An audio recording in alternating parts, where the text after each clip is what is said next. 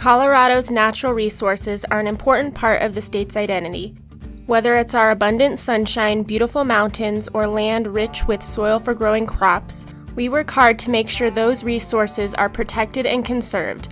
Oil, natural gas, and other fossil fuels are also important natural resources for Colorado. One way states protect these and other types of resources is by levying a severance tax. A severance tax is a tax on the production or extraction of non renewable natural resources.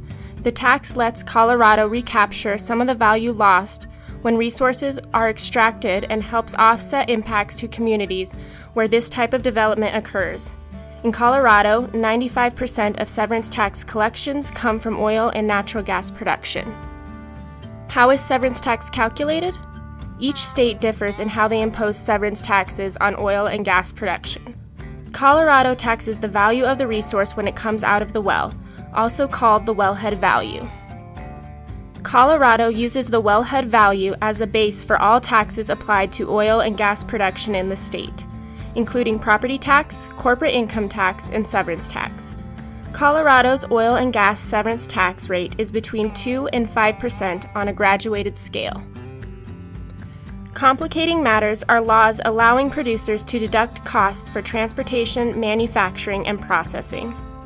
Producers are also allowed to claim a property tax credit, also called the ad valorem credit, because oil and gas property is assessed at a rate of 87.5%. That means oil and gas producers are able to deduct 87.5% of their property tax bill from their state severance tax bill, Without this credit, in 2016, state severance tax collections would have been four times higher.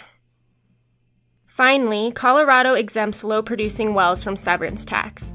Since 2008, between 12 and 23 percent of production was exempt from severance tax. So, where do we rank in severance tax on oil and gas compared to neighboring states? Colorado ranked last among Western states in severance tax rates at 0.6% after adding in all the deductions, exemptions, and credits in 2016.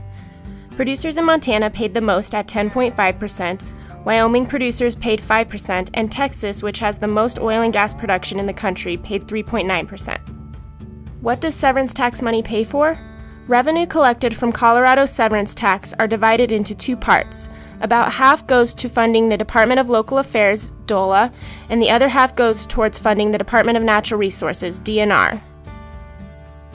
About 30% of severance taxes used to fund DOLA go back to communities directly impacted by development, and the remaining 70% is distributed through grants. DNR used severance tax dollars for a variety of programs like forest health and wildfire mitigation, water infrastructure and supply projects, utility bill assistance through the LEAP program, endangered species protection and regulation of the industry. While severance tax provides millions of dollars in revenue, especially for local governments, it can be a volatile source of funding for public investments. That's because oil and gas operations are closely tied to the boom and bust global market cycle.